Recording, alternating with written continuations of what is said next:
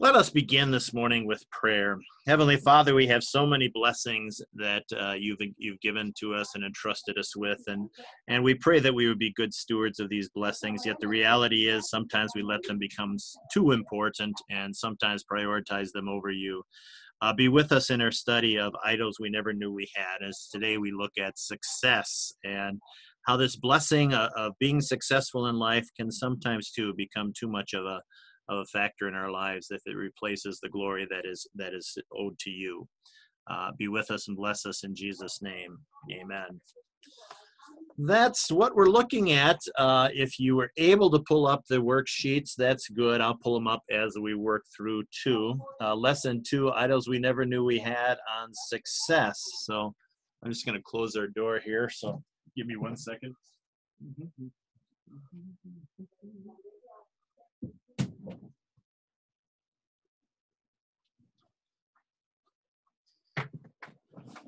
Look at this background, Leanne. Look at it. I even found the background for the Bible class here.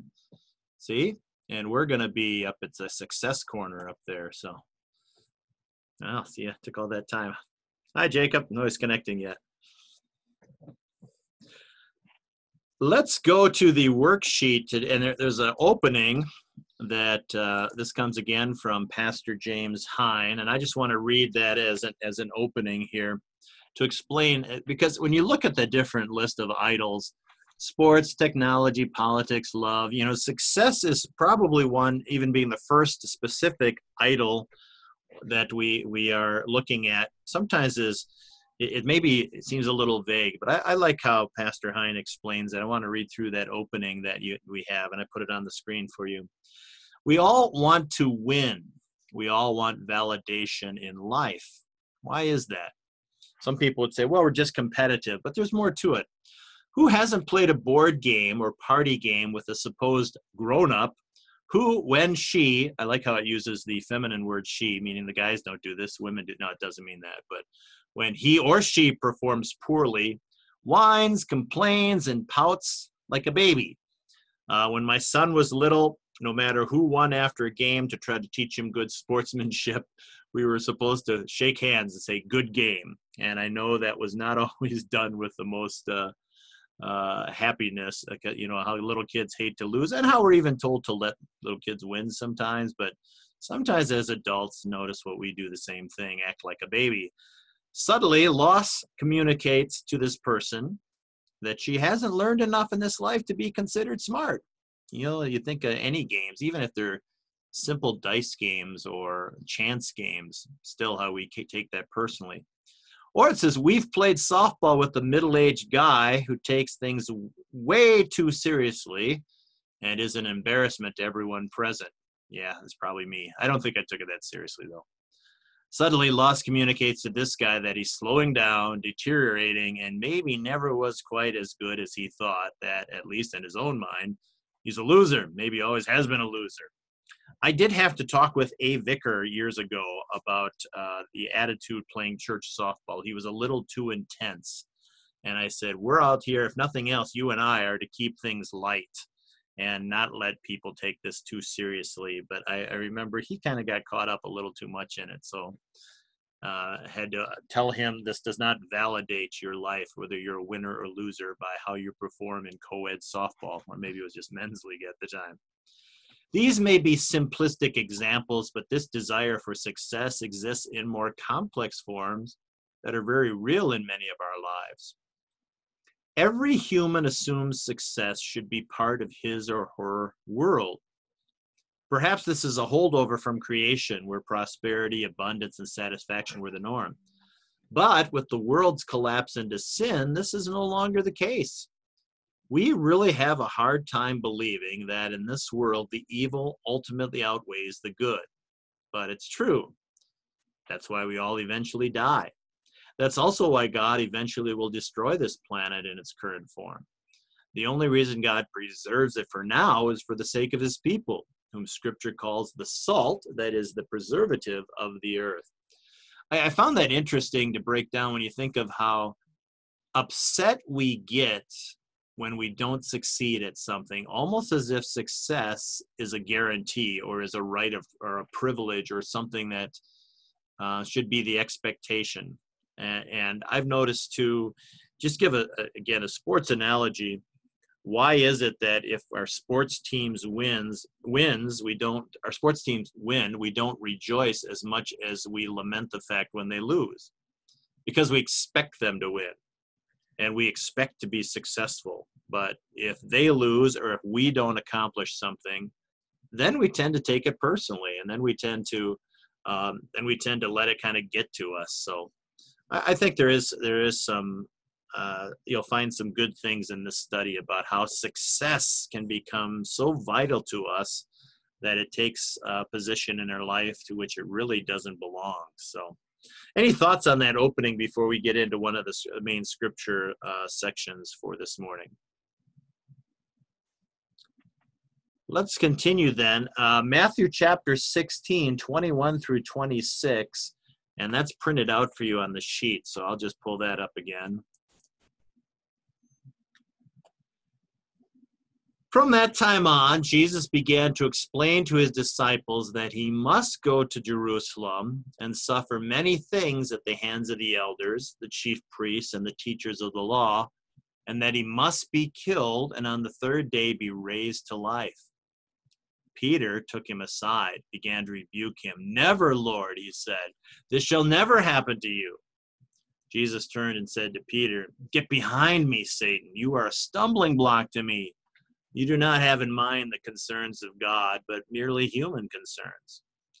And then Jesus said to his disciples, Whoever wants to be my disciple must deny themselves and take up their cross and follow me.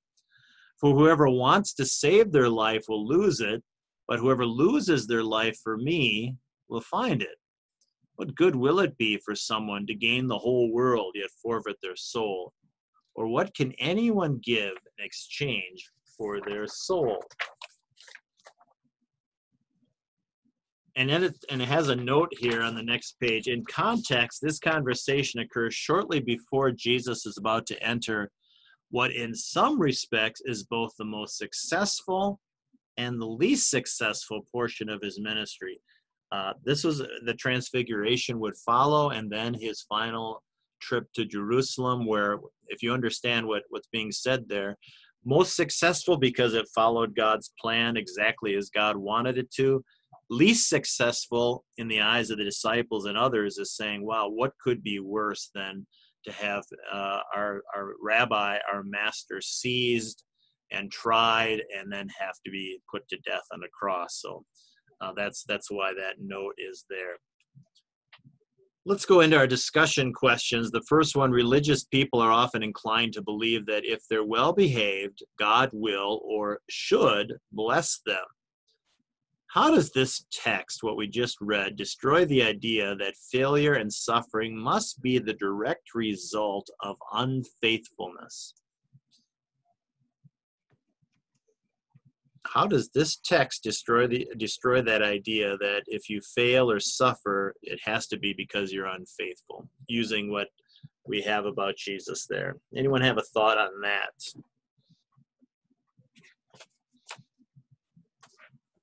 God takes and uh, has all things if you're failing if you fail at something it's uh, god's will that you do fail and it's to teach you a lesson God's always going to use it for our good. He's going to teach us through that that failing. Maybe we need to fail to be kept close to Him.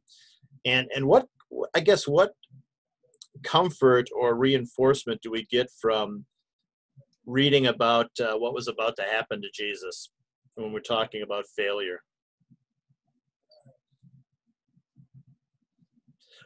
Was there anyone more faithful in obeying God than Jesus?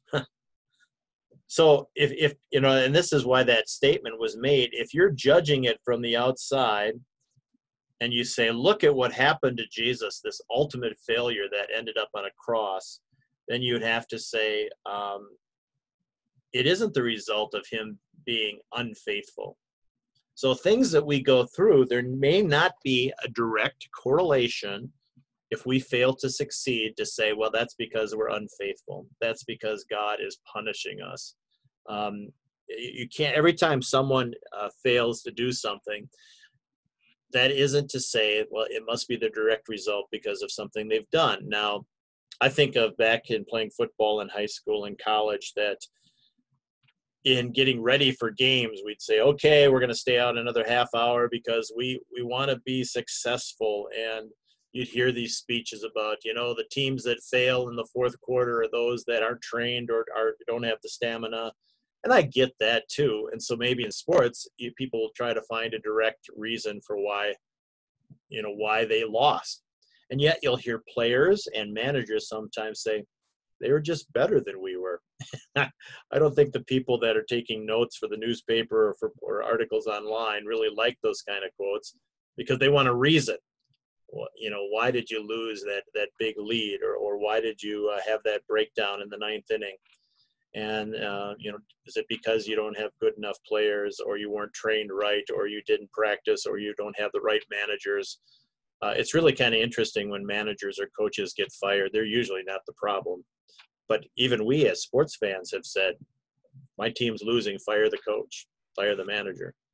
And sometimes it's just, hey, they're just better. And in life for us, every time something doesn't succeed, doesn't mean that we are unfaithful in following our God and somehow He's letting us down. And I think that's what what that first point is all about. So, thoughts on that? look at look at Peter. The second one talks about how Peter responded because Peter right away it says, "How does this text specifically Peter's behavior adjust the way we encourage others who are experiencing failure or suffering in life?" What was what was Peter's reaction again? We go up here a little bit. Never, Lord, this shall never happen to you, and I'm not going to let it happen. So think about that question. How does this text, especially Peter's behavior, adjust the way we encourage others who are experiencing failure or suffering in life? Well, to begin with, you can't stop it from happening if it's going to happen. You're right on, Roy. That's that's it. And and Peter was saying it's not going to happen. We're not going to let it happen. We can't say that to people. You know, you you're saying that, Roy. It sometimes it's just going to happen. Who else has a thought on that question about uh, how we encourage others who might be experiencing failure or suffering in life. And console them, tell them to learn from it. Yeah, and and not always to say uh, you must be doing something wrong because we're not. We don't always know the causes of failure or suffering, why it's happening, and, and we can't pretend that we do. I mean, sometimes it might. If you're if you're talking to someone who's lost his job and his marriage is, is in trouble because he's an alcoholic and he refuses to get any help okay then you can come a little stronger with the law and you can talk about there's reasons why this is happening but in most cases we we don't know what's causing it or why they might be going through it nor should we presume to know the the outcome other than to say god is with you he hasn't forsaken you he won't give you more than you can handle and he says that this is even going to work out for for good. Um, part of our understanding with the world in which we live in is that we're all going to suffer because it's a sinful world. But um, especially as Christians, if you remember what Jesus says, he says, everyone will hate you because of me. So our attachment to Jesus is going to bring us a different brand of suffering so sometimes we'll know the cause. It's because we stand up for what what Christ says is is right. But for the most part, don't uh, when you're don't be like Peter. Just say, "Oh, this isn't going to happen. It can't possibly happen to you," because it can. Like Roy said, I mean, sometimes there's nothing you can do about it, and you don't always have to attach a reason to it. If a loved one of yours gets cancer, don't don't try to figure it out other than to say, you know, I'll pray for you, and God's with you, and and God will take care of you. I mean, that's all you can really say, and that's that's good. Just don't be doing too much like Peter. It's not going to happen. Roy, go ahead. Do the best you can. Yeah, and and and it's okay. We don't need to know the outcome, and we don't need to know the cause. And and uh, if we have to dig for it, then we don't need to talk about it. But like I said, with an example of an alcoholic, if you know something they're doing that's bringing it about, well, then you're you're within your rights to say, and let's talk about why this might be happening let's go on and, and, kind of tying all this into, into success. So we don't know why some aren't successful. That's just how it is. And, and number three, in general terms, how does the world tend to measure success in life? What does it look like? And what does it say about us as Christians if we pursue those measurables with the same level of desire? Let's start out with the first part. How does the world tend to measure success in life, or, or what does it look like by Money. worldly standards? They, they judge you on the money you make. Material wealth. That's going to be one that jumps out right away. That they're going to look and say, "Wow, you know," and, and we judge ourselves by a, a growing bank account. Others will look and say, "Look at that nice home. Hey, look at the new vehicles they have." Um, what are some other things that that the world tends to me- how they measure the world measures success in life? We with material things. fame, I'm sorry, Roy. What was that? fame, fame yeah kind of your your status or you know how well known you are how successful you are using that word success in in uh, your career um, what kind of credentials you have maybe the the degrees that you might have uh, how many people work underneath you uh, the kind of office you have if you you kind of risen up the ladder uh, what else do we use to measure success whether you're happy or not. Okay. Um, some of that might, and yeah, that that might even lean towards something we would be in favor of. If you're content, that's success. Um, I, how how do you respond to when when you see someone that seems to have it all, and yet someone will say they just don't seem to be happy? So is it? Am I am I hearing right from you, Roy, and anyone else with thoughts on this that if you're if you're successful in the eyes of the world it doesn't always equate to being happy That's right. You can take and you can be a poor man and you can be happy. yeah You can be a So- rich man and you can be unhappy. and there's some people in the world that just won't get it because they just don't see it that way they'll just see if someone is is is successful by these standards that we talked about um, and, and, and i got the follow-up to that question um, said what does it say about us as christians if we pursue those measurables with that same level of desire if that's how we see success what is what does that then uh, say for us as christians You know, it, it tells me that, it, that if you're following the world's example, you're, you're chasing the almighty dollar instead of God. and that idea that we had from Matthew if you gain the whole world yet you forfeit your soul. So everything that truly has value you could lose. If you make success your god or you make your make success your idol. And uh, you know that that comes in a in a number of different formats too when you talk about well how does that trump over what what god would have you do? It may involve maybe not always following scriptural uh, guidelines and how you conduct yourself at work. It could mean, um, you know, that the fact that if I understand that there's times when people have to miss uh, a worship because of work and things like that. Uh, but I, I'm also very strong in saying if it becomes more of a habit or more of the norm, you maybe have to reevaluate a little bit. Um, I, I kind of I've approached the same thing about teach what, what we teach our children with uh, activities on weekends that knock out a lot of Sundays. It may happen from time to time with the occasional tournament, but uh, when if you look at the schedule and you find out before you join a team that this is going to be the norm, that almost every Sunday morning they're going to be somewhere and uh, playing on Sunday morning, so you couldn't even go to a church service. One of our WELS churches out of town. Then you kind of say, what do our kids learn from that? So uh, again, it doesn't make you a blatant heathen, but sometimes are you teaching success to your children? Maybe that's going to fall under the other categories of sports and whatever else we had up there too. Um, things we love, but uh, success often takes uh, a main role in all of this that it shouldn't. I like this next sec next section that you guys can help me out a little bit. Doesn't mean you can only answer in regards to the category that pertains to you, but uh, looking at number four on the next page. In more specific terms, our particular idols of success may tend to change based on variables like age or gender. And I emphasize using generalizations. What idol of success comes to mind for each of the following groups. And Pastor Hein had some suggestions that I'll offer after I, I talk with you a little bit. It's, and as I looked at his, I, I think there's there's a lot of uh, validity to how he categorizes it. But for example, you're a young adult man. What idea of success comes to your mind as a young adult man? And again, doesn't mean that you have to be a young adult man, but what is considered success for someone um, who's a male and who's young? Where do they find success?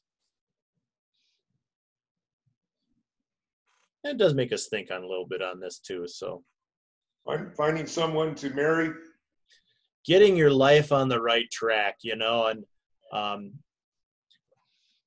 yeah, I th- I think uh, trying to establish yourself as, as saying this is the next role in in life. So that's one thing. What are some other things a young adult man would say is their barometer or measuring mark of success?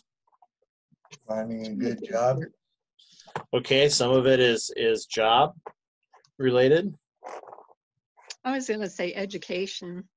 You know, I, that's that's one that that Pastor Hein had down. Janice said academics. You know, I've got to get my education because that's going to lead to the job and to the family. So maybe, you know, for, foremost is you know I got to get that degree, and and along with it, and and if we and we're going probably before they get out of school. The one of the other things Pastor Hein mentioned is athletics that these are the ones that get caught up in in sports whether they're participating or rooting on that that's a measuring stick of how successful they are uh, how they do athletically and if you go to the young adult woman i think you can carry over academics because i think now that's fair it isn't a point of you know now i'm going to i'm just going to um, end up getting married to stay at home. No, I think it's just as important for women today. And and so a young adult woman would say, find a good college, find a good school, get a career, things like that.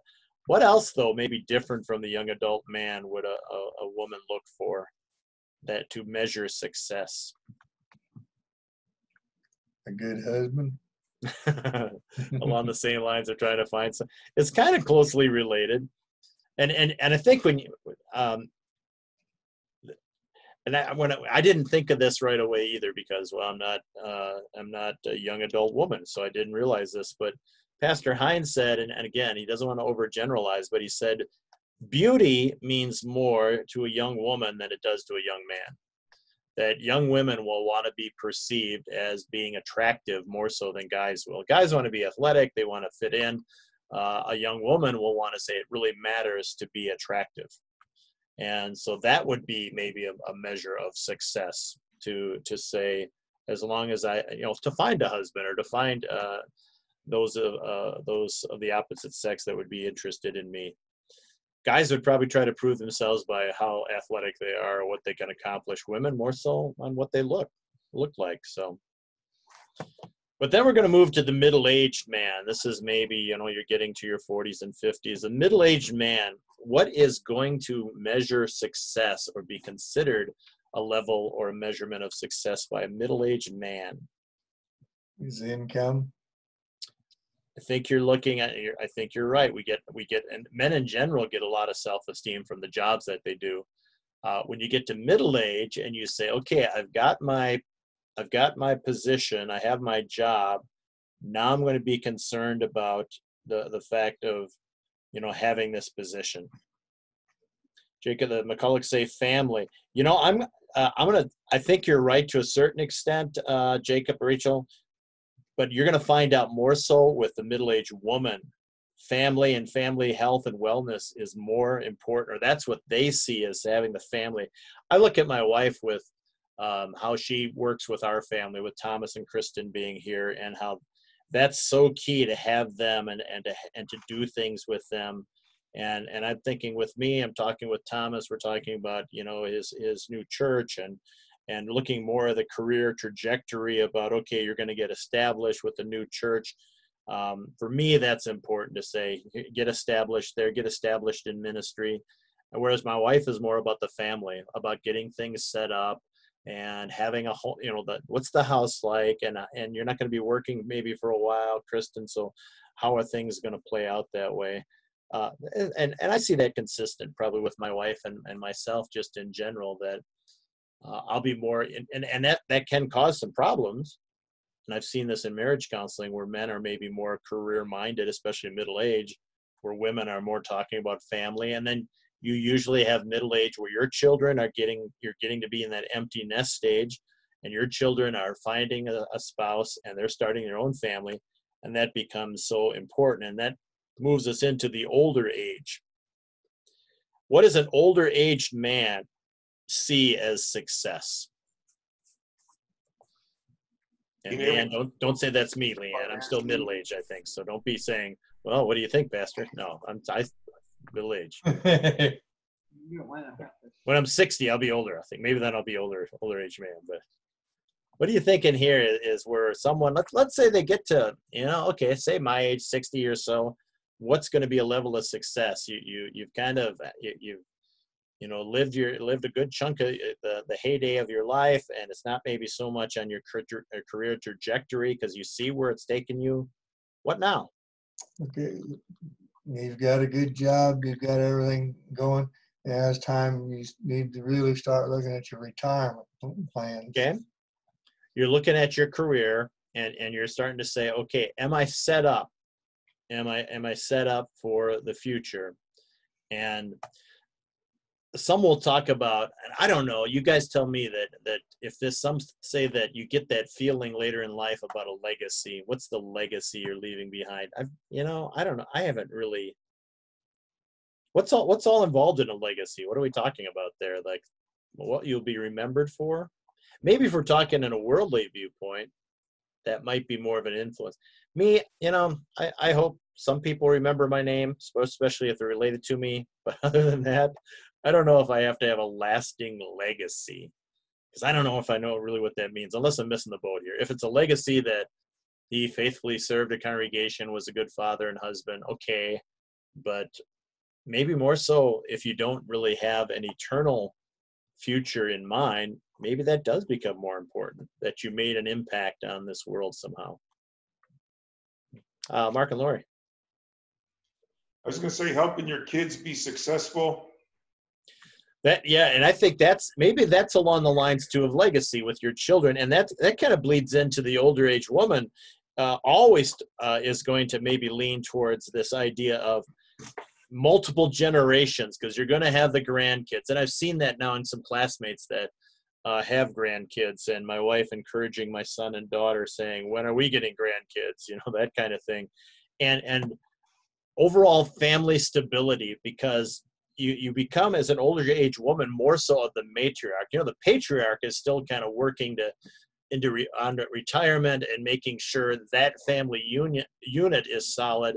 Where I always see the matriarch, the, the grandmother type, getting the older age woman who now has uh, young grandchildren perhaps coming along. That family stability becomes, you know, so because you like to keep track of how many grandkids you have. And I have one classmate. He he got married right out of college. I think he was one of the first ones in our class to actually get married. Back then, you used to wait till you're, you know, sometime during your seminary career. Now there's, it's like my son got married right out of college, but it was kind of rare, a little bit more rare for pastors back then. But he got married the summer after we graduated from college, and they started having kids right away. And I think they have five or six kids, but they all have now gotten married. One or two are in ministry too. And I think almost all of them, or, or many of them, they have grandkids. And my, my wife is friends with the, the wife on Facebook. And she's always talking about the grands. She calls them the grands. And, and, and they're all spread out, but they still make it a point to try to get home or try to get together. And, and that, that seems to be her highlight in life being surrounded by grandkid or by grandchildren. And that's what made me think too of this family stability to know that your family is doing well uh, they're, they're following a path that is going to be god pleasing and it's going to be blessed and they're going to be taken care of. So um, that that comes in. So I, what's being brought out here is that we have different things in life that become more important to us and we probably see that in life. And it's always again interesting watching the generation following us and trying to relay to my son some of the things my father relayed to me before I got in ministry. It's kind of a surreal kind of thing about, okay, this may not be real important to you right now, Tom, but here's one of the key things uh, to establish in ministry and, and just kind of passing on some things like that. A- anyone else have um, uh, thoughts on that little exercise just to show you that we have different measurements for success. Uh, the world even sees it depending on our gender and our age. The thing that ten- tends to come out in families is the older the kids get, the smarter you get. it is a wonderful thing that uh, I'm not even sure when that happens, Roy. I, I- that uh, trying to think when it happened with Thomas. Uh, Mark and Laura, do you know when all of a sudden your kids started thinking that you might maybe actually know something? Uh, not so far. I was gonna say, or hasn't that happened yet? Because uh, sometimes I, you got to kind of look for it, like with Thomas, that if if imitation is the highest uh, form of flattery, or or saying that, yeah, Dad, that's yeah, that is that does make sense, or that is a good way to do it. Because I said to him, I you know, I was working on the bulletin yesterday and getting this ready. And I said, Tom, uh, have you ever uh, you know how to put a bulletin together? And he goes, No, I haven't yet. And I go, Whoa, you went through. I said, I said, uh, you know, this takes a little planning and work. He goes, Yeah, I'll figure it out. I said, Tom, I, I hope you do. Is there any sense of urgency I'm instilling in you? But every once in a while, you see him doing something or alter or or altering their the way they do something based on what they've seen in you and you think okay they may not verbally always say you know hey dad mom you really knew what you're talking about.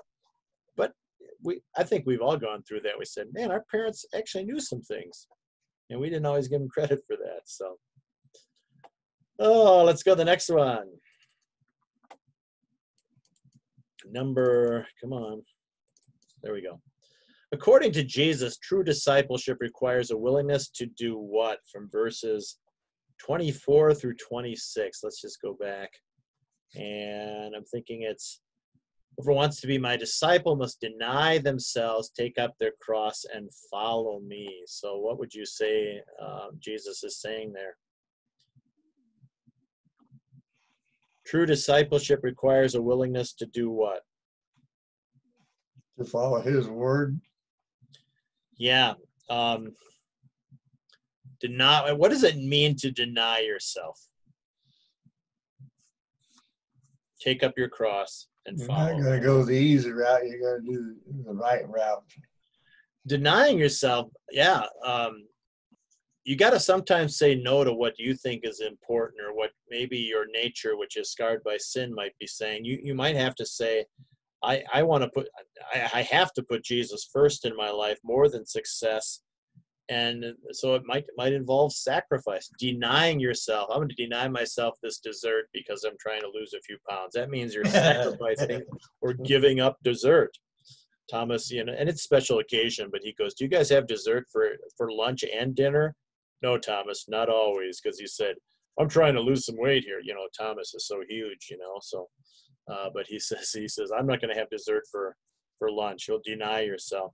So if you're going to sacrifice something, that means you're willing to you know experience failure, uh, suffering, and rejection. You're willing to do that from the world to be you know denying what the world maybe thinks you should do because you're going to say I'd rather do that than deny Christ.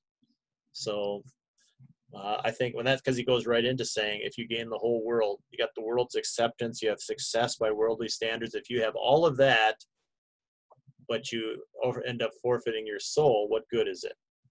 So, isn't it better to deny yourself or to make sure you don't put anything above Christ in order that you still have your soul and your Savior? So, Yeah. Well, I have a lot of people that are older than I am telling me I'm too old to be doing Meals on Wheels. Mm-hmm. Yet I've got people telling me it's good for me, and I I'm in reasonably good health. I enjoy doing it. It helps older people, and so therefore I do it. Mm-hmm. But uh, it's good for me. Yeah. Man, it's it's kind of like Christian attitude too. You're taking care of other people. Sure. And and that is expressing that, and that's a God pleasing thing, and and uh, it isn't anything that's causing you to sacrifice any of your faith or faithfulness to Christ. So it's a good thing. It's actually serving Him. Good. Last one we have here, number six. Uh, Jesus himself loathed the idea of apparent worldly failure. Uh, in fact, he even consulted his heavenly Father about it in prayer. But in the end, he chose earthly loss, which was the will of God. How has this decision affect his? Dis, how has this decision affected us? What does it teach us about in life? How does the lasting impact of Jesus' decision affect our approach to the idea of success? Um, it, it kind of get you know be, you got uh, kind of by way of explanation because there's a lot in there. If you think about it, because of Jesus now, he was perfect, and yet he chose. I think we it's it's it's true. He chose to experience suffering and loss in our place. And thereby, that's how he paid for all our sins. And some of those sins include loving worldly success more than God. And that so he paid for those sins. He opened heaven for us. Um, going all the way back to how Peter could not possibly view what Jesus would be undergoing as successful. And his main the only thing that came to his mind was never this will never happen. This will this I won't let it happen. Jesus came out of the grave and that apparent failure then remember how the disciples uh, still reeling in the fact that this is the worst thing that ever happened how unsuccessful Jesus was. And, and I think they probably if you would ask them point blank did Jesus succeed did your master succeed? They said, How could he succeed when everything was taken from him? Even that same night, how they were hiding in fear. But when we talk about Jesus coming back on this earth for, for 40 days and how he taught the disciples, and they even needed Pentecost finally to see that all the apparent failures that happened to Jesus were, were just an illusion because they were successful. Now you take that into our lives today. What's when you think of the illusions of failure, what's the worst thing that people will tell you can happen to you? Worst thing. Worst thing that can happen to you? Yeah, that people in the world will say the worst thing that could happen to you on this earth would be to stop being on this earth, to die, right? You guys see that? Mm-hmm. If, if someone, you said the worst thing that could happen to you would be to die. Now, That ain't necessarily true. for us, we know it isn't.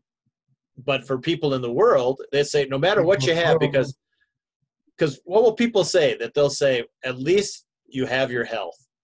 Like that's the most important thing because the worst thing is to lose your health, and ultimately the very worst thing would be to die. Now you and I have been conditioned by God's word with the promises of God's word that know that death in this life, by the power of God, the illusion of death being the worst thing that is possible, we know that even in death we are successful. And so the loss we experience in this life, uh, due to our attachments to Jesus, whatever we may lose in this life, are not really failures, are not really losses, because we know what they bring us. We know being faithful to our Lord allows us to uh, still reap the benefits of heaven from believing what he's done for us. And when you think about success, could you say right now to anyone in the world that as a Christian, that guarantees I'm a success? Is that okay to say? And could you could you say something like that? Yeah, we'll take a look at me. I'm, I'm in fairly good health, not the best of health but I'm uh, doing all right. I've got God. I've got my church. And I've got my family. What more do I need? So you're successful, correct? Yeah. So twisting it just a little bit more, you know, there are a lot of people. I, have talked to people that uh, I, have told you too. I, I'm not a big fan of having a bucket list. I just don't have a lot of things in life that I need to accomplish. Um, and I joke that I don't have a bucket list. I have a Dixie cup list. You know, mine's really small, whatever. I told, I telling Thomas and Kristen, grandkids would be kind of cool. I'd like to have grandkids. There it is, my one thing I have. But you, you look at that statement of people have a bucket list of what they want to accomplish in life. And there's nothing wrong with having goals. There's nothing wrong with saying, here's what I'd like to accomplish. But do we as Christians recognize truly there's nothing more for us to accomplish because we are already successful in the fact that we know about Jesus. Do you see the comfort that can be in that statement and that can just maybe let you let out that sigh that things are going to be okay, even if you don't have the best job or even if you don't have the best home or the nicest things. And, and even if your health isn't the greatest, you can say that I'm successful. I really don't have much more in life to accomplish, if anything, because Jesus has accomplished everything for me. And then we simply step back, kind of echoing what you said, Roy. I have everything I need. I can simply rest in that joy of anticipating uh, the experience of Jesus' success. Ex- anticipate when, when I'm with Him that we can look forward to that. But as far as accomplishing it, it's already been accomplished. That's what makes us us Lutherans. Too many are out there saying you still have to accomplish your relationship with God and getting it straightened out. No, our, our wonderful joy and, and happiness is that this has been accomplished, that this is our joy.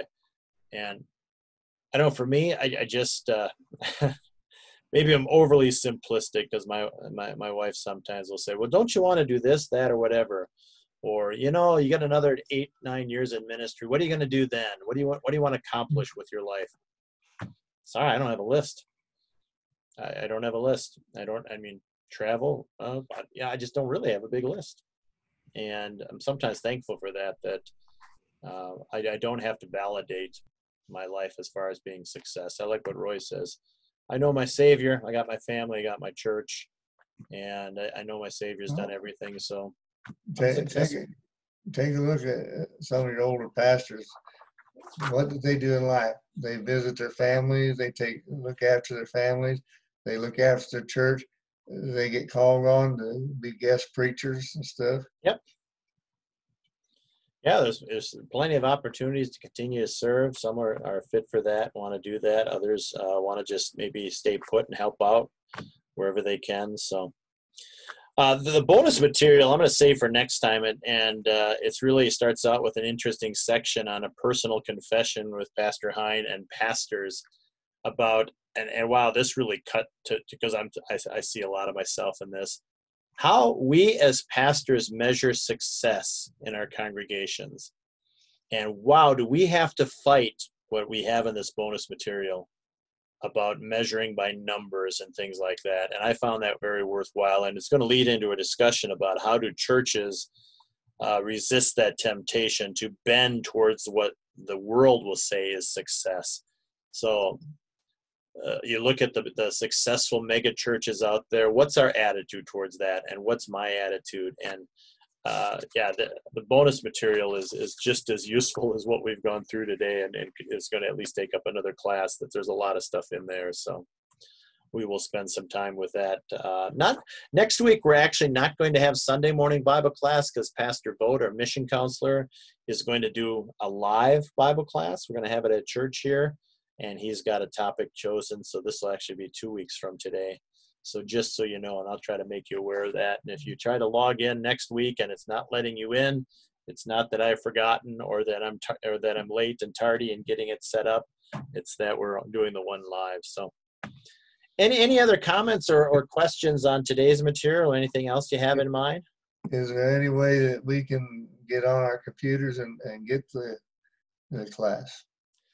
Uh, that's the thing. We, you know, that it could be done with someone recording it on on their phone. Maybe we can ask and see if someone willing to do that, or even with possibly with a camera um, to do the Bible class. I can maybe check into that a little bit. That's something, Roy, that's kind of first on my list to remedy. Uh, I've talked a little bit with uh, Maggie Schoonover. They do a lot of internet stuff, and I've talked to her a little bit, and along with uh, evangelism and elders, where, wherever it fits about getting some cameras and getting them set up to where we are going to look into offering live streaming of our services. And until we get then for us to continue to do the evening ones uh, where I do it the night before. But that would also make it much, you know, easier to record anything that we do in our sanctuary. So right now I can't make too any promises, but it is something I can maybe talk to some guys about if we could get even a, have a camera set up and then make it available and send it out. So just will not be at 9:30, so it, it won't be anything live. So as far as I know. Thank Okay. you. Otherwise, happy Father's Day to you out there. Uh, let's go ahead and close with prayer, and I'll let you be on your way for this morning. Heavenly Father, thank you for this opportunity to gather and once again to look at uh, the blessings that we have when we are able to succeed in things that we're we're setting up as goals in our life, but also to keep it in perspective that our success should never be at the expense of trusting in you or having you first in our lives. So continue to remind us of where we failed. Let us know that we're forgiven in Christ again and again. And let us rejoice in the fact that you're going to work with us with the Holy Spirit to amend our sinful lives so that they may be more pleasing to you and more beneficial to us as we live here on this earth. Thank you for the blessing of fathers and all that they provide. And thank you for being our Heavenly Father. In your Son's name we pray. Amen.